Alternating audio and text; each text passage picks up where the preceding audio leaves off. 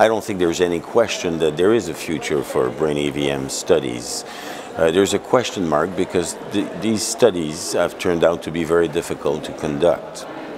It's not such a frequent disease, and it's an it's a, a, a population really of, of uh, diseases that is it's been difficult for people to conceptualize that they could be grouped all together uh, asking a simple question whether we should treat them or not preventively particularly for unruptured brain AVM and uh, the, the previous studies have been so difficult to conduct that I suppose that's why the question is, is posed. Uh, is there a future for such studies? But I, I do believe that there, we really have no choice.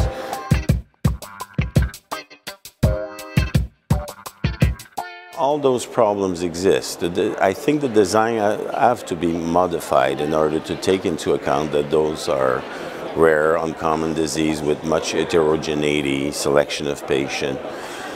Uh, multiple treatment choices. None of them have been validated as beneficial in the past. So it's a, it's a problem of trial design. It's a problem with participants too.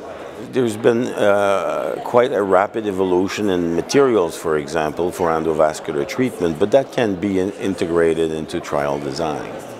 There's not that many studies, but we suspect there's more uh, differences in the way to approach the problem and, and the uh, uh, uh, schools advocating this or that treatment for that condition rather than differences in really uh, types of populations.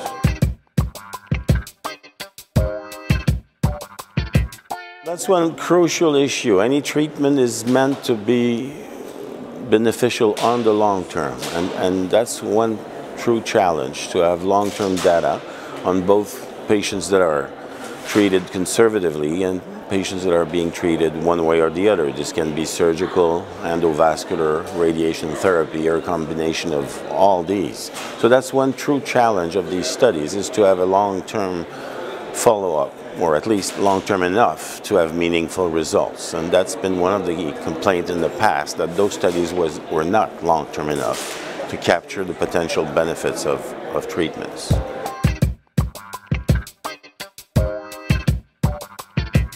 Well, everybody talks about the Aruba study that was published in late 2013.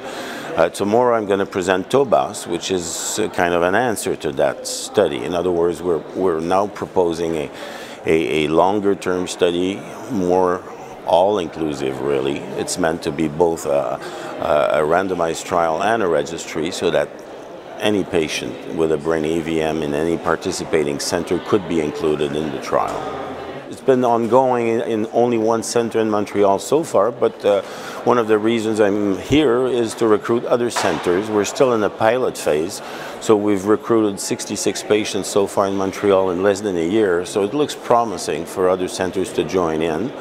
And once we have a sufficient number of, of uh, participating centers, then we can consider the feasibility of the entire adventure.